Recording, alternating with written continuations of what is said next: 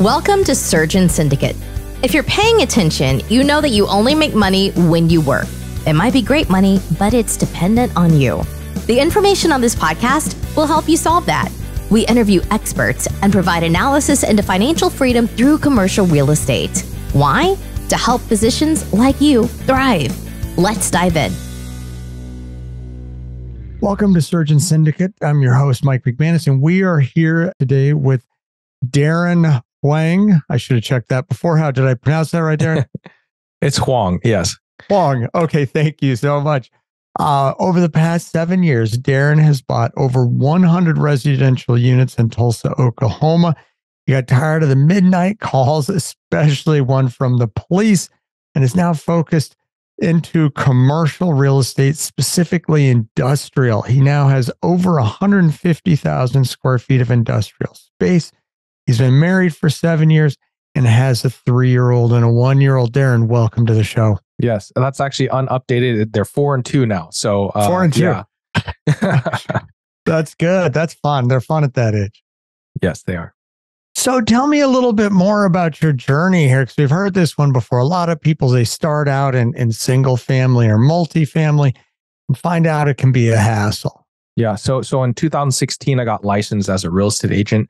I was just doing B2B sales. I hated how my commission and my uh you know it reset every single month. And so i said hey listen let me try to work for myself being very entrepreneurial uh, got my license thinking that the brokerage path would be the route that i would take. So thinking that i would have a team underneath me a buyer's agent seller's agent then maybe own a couple uh, like a brokerage so have multiple people working underneath me. I thought that was the path that i wanted to take but it wasn't until 2017 i actually picked up my first investor client and that really changed my world because it wasn't about the granite color, it wasn't about the wall color, it was about numbers. And so, uh, one for me, it was unlimited commission based on the deal. Um, so I was just married at that point, no kids, so I had a lot of time. Um, and then also, uh, I I got to see a, a, a deal go full cycle, um, and I I wasn't even aware that the BRRRR strategy was a thing. I just thought you would flip homes or just own them cash as rentals and he kind of showed me that entire different world. Well, that's awesome. So now you've you got tired of all the hassles of single single family. And now you're it looks like you're mostly in warehouse and in the industrial sector. So what are the things that make this a great place to be? Yeah, yeah. So just kind of continuing that story, it was it really is one two skip a few 99 100 and just knowing uh just just having all the time in the world and then having uh like all like just trying to take it all on yourself I thought that I was a really great operator. I thought I was a really great property manager, leasing agent, etc. But at, at, a certain point, you kind of burn out. Uh, the thing that really drew me into commercial real estate and specifically industrial is triple net leases.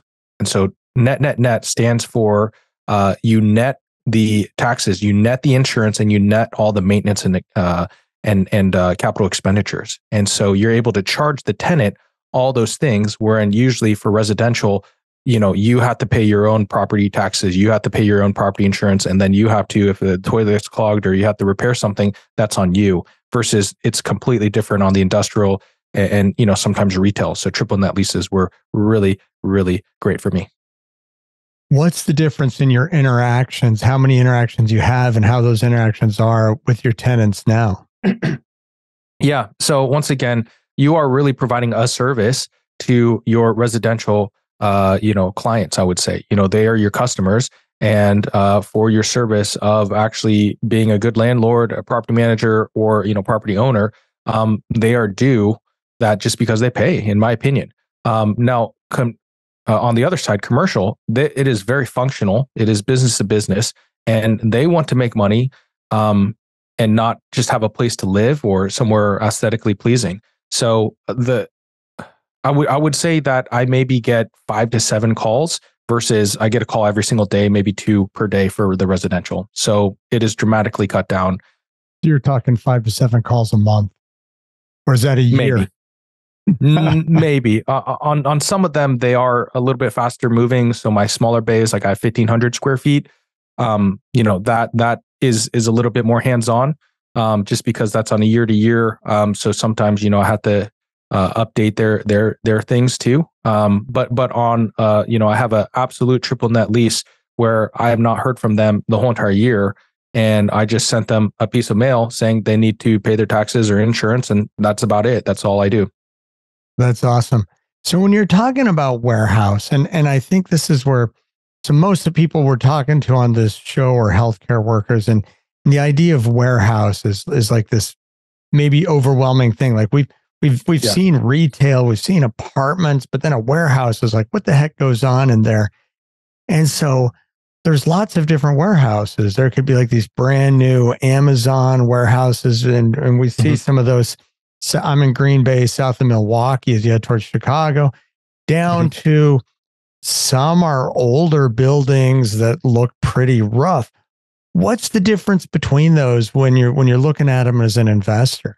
So another point that I really like about industrial real estate is actually the largest asset class in uh, North America or uh, United States per square foot. Now, it's not the most expensive, it's not the most flashy, but it takes up the most amount of space. And with that, there's uh, a lot of enigma that kind of comes into it. You know, you see Amazon, you also see like a contractor bay, like I said, a 1500 square foot bay. You know, those are really, really different, but that's all shuffled within industrial real estate. So uh, I kind of break down industrial real estate into three different categories. I'll just go over them and kind of give an example so that you have a kind of a clearer picture. So the categories are distribution and warehousing. So that's kind of the Amazon. There's manufacturing. Um, so think of anything that has to get manufactured. And then third is flex space. So that really is a catch all anywhere from medical research, like a research lab, or maybe a technology point uh, where, where they have uh, security systems and data centers and stuff like that, all the way to you know what normally we think of as like almost a Sherwin Williams type. So once again, distribution at the very top level, you have FedEx, you have Target, you have Macy's, you have USPS, all those things, which is just a really large 30, 20 to 30 foot building um, that's just open. That just all it does is transform pallets to your door. Um, so that that's distribution at a very small level. You know, I have a, I have a small tenant that delivers hummus to their local local grocery stores. So it gets manufactured in Texas, shipped up here to uh, to Tulsa, and then from Tulsa to the grocery stores. Um, so once again, that's distribution. The second one, manufacturing. That's exactly what you think. It has to manufacture something. So here in Tulsa, and I'm guessing in in Green Bay and, in Wisconsin, you know, you have manufacturers. So we have one, uh, Milo's Tea. So they manufacture tea and lemonade um, for the consumers. We also have Kimberly Clark that makes brands like Charmin, Char, uh, yeah, Charmin and Bounty, so paper products. Um, and then, you know, anything in between that. At a lower level, I have a small uh, business that's e-commerce based. They make bath bombs and candles. So they manufacture that. And then obviously they have a distribution point in the back of it that they go direct to consumer. And the third one is Flex. I, I mentioned Sherwin Williams. You know, sometimes they have a retail storefront a couple like manufacturing points where they're mixing the paint and they're they're spinning it. Uh, and then warehouse in the back where they actually take the five gallon or 50 gallon drums of, of, of paint and going from there. So that's kind of a comprehensive look of all this industrial. And then once again, there's different levels all the way from the big boy comp- cor- uh, corporations, billions, trillions of dollars, all the way down to the small business that I kind of mentioned. Well, that's it. And you mentioned Kimberly Clark because being in Green Bay, although in Green Bay, you hear a lot about the Packers and cheeseheads and cheese, but um, one of my favorite things I learned when I moved to Green Bay is Green Bay was where the first splinterless toilet paper was developed. Which, if you think about that, that's a major step forward in civilization. That is a huge step forward. so, so a huge part of, of actually Green Bay is the paper industry still, and a lot mm-hmm. of toilet paper, paper towels, uh, cardboard boxes. So, so when you the big those some of those those big factories that's where you're talking about that falls into that manufacturing. But all the way down to where you're even saying in flex space could be making candles out of uh how big how big of a space does a candle plant require? Yeah so this one is a pretty niche um and i think they're in a little less than 3000 square feet um, okay. But once again, they're e-commerce based, so they have a small warehouse in the front that does all their mixing and manufacturing, and then they have all their inventory in a different one in the back, and their offices are in between. So, um, yeah, really great setup for them. That's a that's a great description how it can go from these really large, giant manufacturing or Amazon type warehouses all the way down to what's really kind of a, a mom and pop factory uh, in a much smaller space.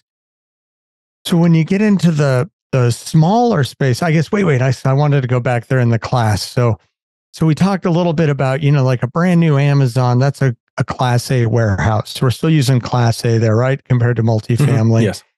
And then Class B. What would be a Class B or a Class C warehouse? Yeah, it's usually depicted by age. And so they built things very similarly um, because there wasn't Amazon that needed to put a door, uh, put a package on your doorstep in two days. So Class B really signifies anything from, let's say, 70s, 80s, 90s, even early 2000s.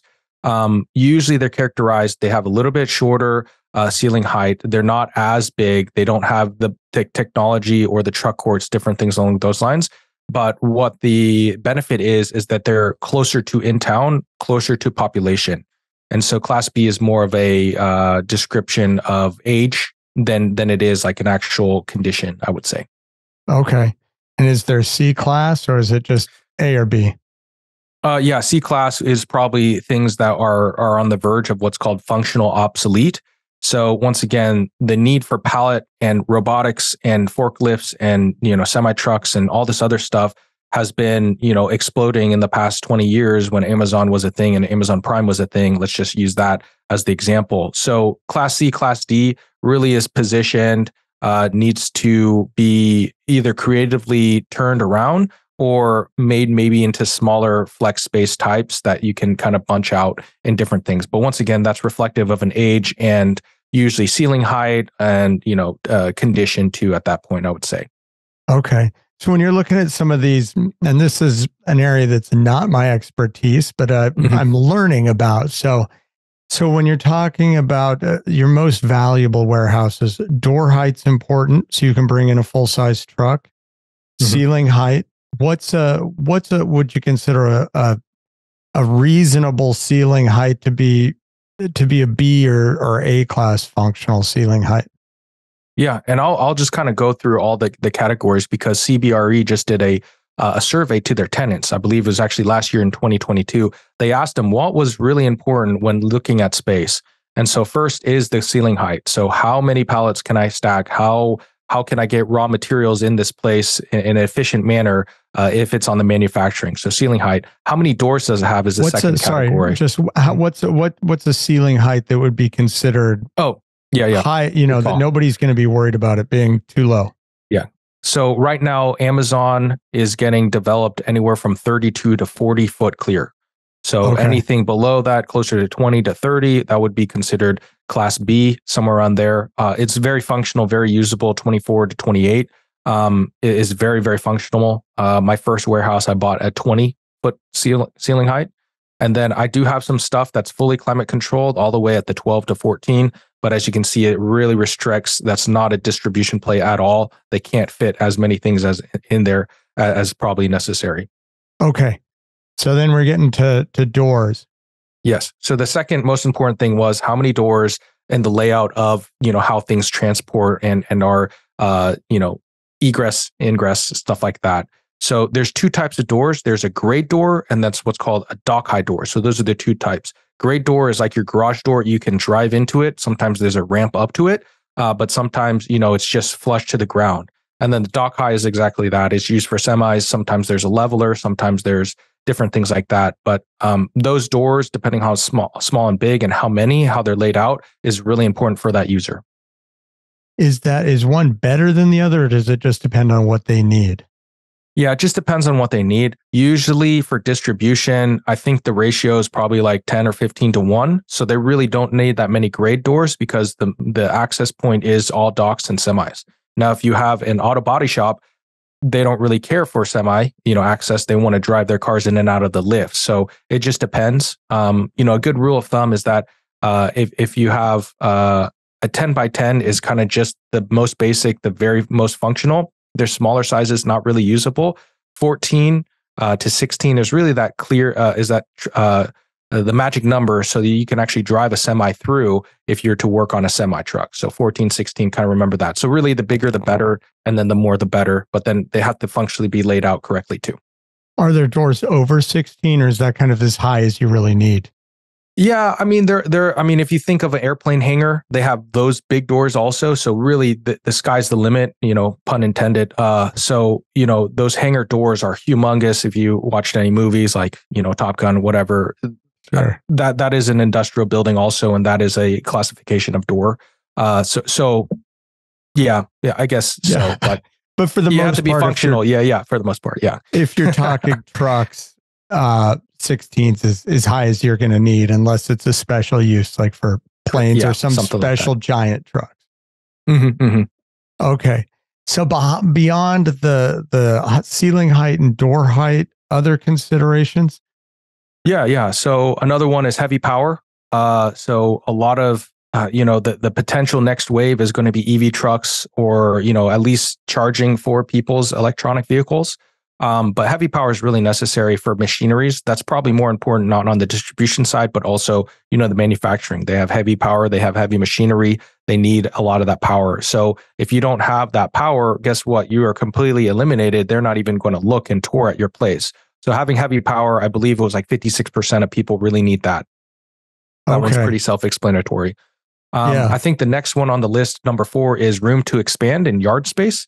I think this has really taken a lot of people by storm and a lot of the investment world by storm. It's called industrial outside storage. But imagine trying to move a big operations like an Amazon warehouse from one place to another. That that takes a lot of time. So I think a lot of people are looking, hey, we want the room to expand or we want the yard space to keep things even though we're not, you know, technically paying the price point per square foot. So okay. um yeah, that's pretty self-explanatory, I think.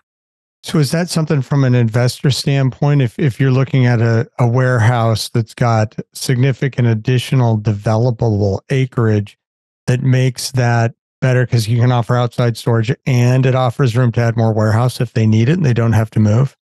Absolutely, absolutely. Yeah, so so I would say anywhere in a metro that has land is uh considerably more uh you know valuable. Um just because especially as metro areas grow and grow and grow, you can find some acreage on the suburbs, but when you're trying to tap into workforce, when you're trying to tap into, you know, visibility and then um you know being very close to your consumer, um, whether it be for manufacturing or like a tradesman or the actual door to your doorstep kind of delivery, um, that all really is very big consideration. So um, yes, land is really important, and and most cities don't want to just have that be a space. They want it to be developed. They want to they want people to shop there or pay more taxes on it. And so they're not really zoning that much more land in town in, you know, in places um, for that. So it, it, becomes val- valuable for, for some cities. Yeah. For some places. Okay.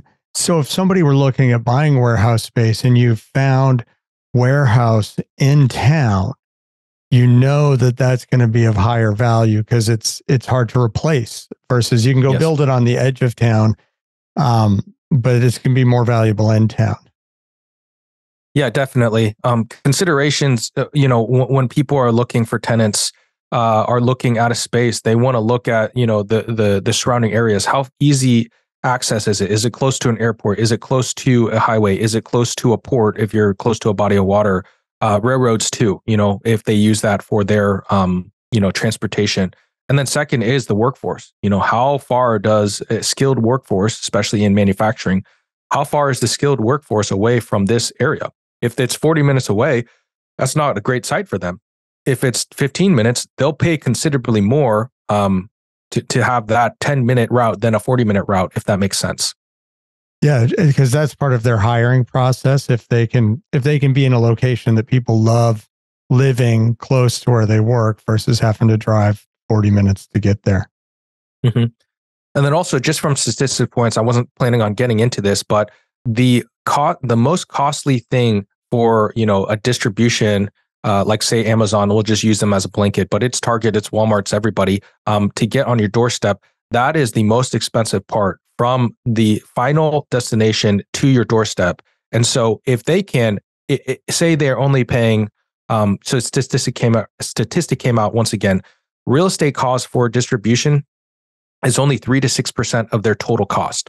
The rest is, uh, you know, gasoline, uh, transportation, and workforce, and the hire there.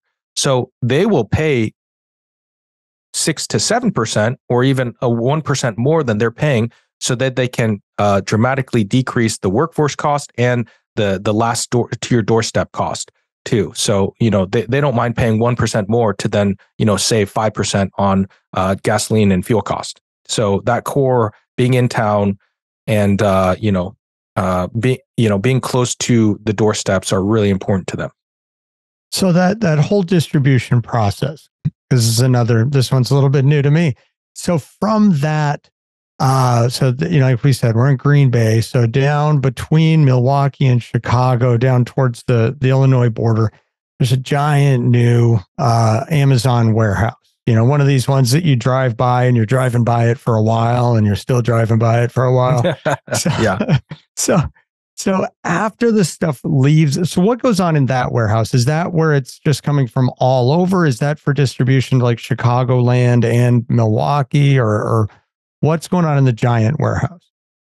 This is just a complete guess. What I'm going to guess is since it's not close to that, what's called the last mile delivery, that's probably a distribution center. So a lot of that goods come there, then they go to a separate, smaller uh, facility, and then from there they get loaded up on the trucks to your doorstep. So m- most So it's likely, one- it's a very strategic position in between Milwaukee, Chicago, Illinois to be able to do that. But that is the second to last stop and maybe third to last stop. Okay, third to last stop. Where? How many stops they have before that one? I'm just in understanding warehouse is trying to understand distribution maybe a little more. I don't know if this Yeah. is outside of Yeah, So- I would say I'm I'm guessing at this point, uh, educated Okay. guess, especially for that uh, facility. But um, it's kind of crazy to think the actual journey of even a simple thing like a marker to your your doorstep. Um, you know, if you just kind of backtrack it, okay, this marker was in a cardboard box. It went to the distribution center, then it went to probably another center, but then it was, uh, you know, uh, imported from the the the port of LA. So then it was on a ship, and then it went back to China and then it was in a manufacturing thing from China. So I mean that's r- relatively very sh- short and condensed. Uh, but then even the cap for this was maybe manufactured in somewhere else, and then the tip for that and the ink for that was all put assembled in a in a place in China, or I don't know if this was made in China or, or the United States. But you know, if you can kind of think, there's probably 16 different parts that came together in a factory. That factory then went to the port. That port then went to the ship to the the the port of LA, and then that went on a to another warehouse, then to another warehouse, and maybe to that that last distribution center, then to your doorstep. So okay, succinctly put, that might that's kind of the distribution chain, if you will. and that helps. So from that big warehouse, you know, Mhm. down there, how many stops are there before it gets to my door in Green Bay? Yeah, maybe two more stops, maybe one. So I don't know how far away it is from you, but sometimes there's a Three hours. if it goes to that, yeah. Okay, so then yeah, probably two or three stops. So it might go from that large one, it goes up two to three hours, then goes to the distribution center there, then it goes to that last mile delivery, um, and then it goes to your doorstep. So yeah, maybe Okay. two or three. how big is this? So that was a, a that's a really big warehouse, like we were saying. Yeah.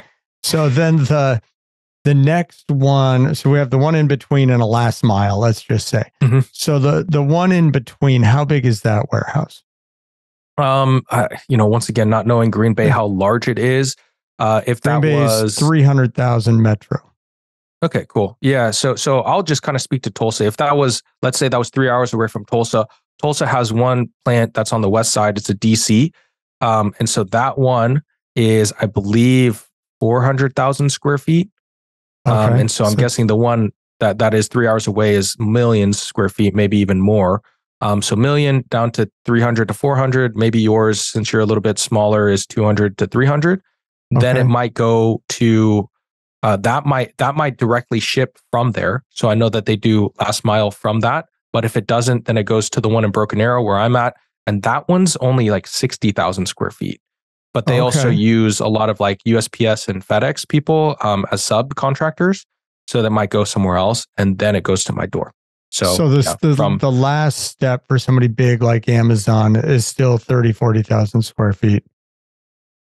yeah, That's yeah, maybe that one is very small. That one's that one's particular. The the the Amazon in in Broken Arrow is only sixty thousand. Um, Okay. I would say it's probably going to be hundred plus. That that's probably what makes sense to them. Hundred Okay. thousand square feet. Yeah. So when uh if we're looking at somebody who's not as big as Amazon, do they have the same distribution type thing that's smaller, or are they like using Amazon or somebody else for their for that shipping Yeah, for that la- you know to get to that last mile where it gets delivered? Yeah. So they're usually either using Amazon as a third party fulfillment. They're sometimes using USPS or FedEx for that last mile. Um, and so it just depends on the e-commerce and different things like that. So this is, um, yeah, yeah, I would say they're most likely using third party um, in that aspect. Uh, and a lot of that third party logistics, 3PLs as they're called, uh, has been gobbling have been gobbling up space. So it's not just like Amazon, but it's also they're contracted out for other things too. So 3PLs. Okay, awesome. Deren, this has been so awesome. And we're going to wrap up this part of the show. And Deren's going to be back for another episode. And I want to get into more some of this. This now we see warehouse clusters and and learn more about that. So thank you so much for being here. And we'll be back for the next one. Please join us again on Surgeon Syndicate. This has been an episode of Surgeon Syndicate. If you got value from this episode, you know other surgeons are hungry to become job optional, and you can help them by sharing this content today. Schedule a call and we can make a plan. Looking forward to having you with me on the next episode.